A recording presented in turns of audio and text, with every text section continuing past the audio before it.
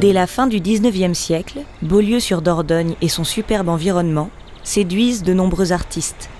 Le Norvégien Fritz Tollow, peintre de renommée internationale, présente ses peintures de paysages de Beaulieu au Salon parisien de la Société nationale des beaux-arts en 1904 et 1905. Julien Leblanc, peintre et illustrateur parisien, dessine inlassablement les personnages et les scènes de vie rurale, tandis qu'il réside au manoir de Roland à Altillac, près de Beaulieu.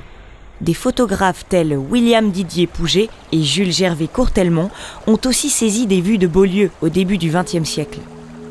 Conscient des atouts de Beaulieu, le syndicat d'initiative créé en 1929 amorce le développement touristique de la ville, dès lors surnommée la Riviera Limousine.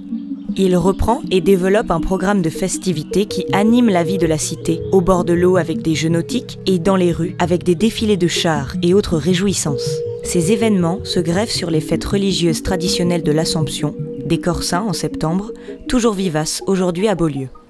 Malgré l'exode rural et le vieillissement de la population amorcé depuis la fin du XIXe siècle, le développement touristique s'accélère durant les Trente Glorieuses avec l'embellissement de la ville, l'aménagement des quais et la construction d'infrastructures touristiques comme le camping, le village de vacances et la piscine.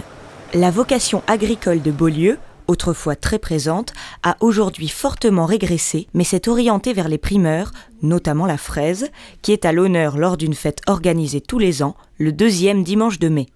L'activité touristique est devenue primordiale pour l'économie locale et permet de maintenir une cinquantaine de commerces dans cette commune de moins de 1300 habitants.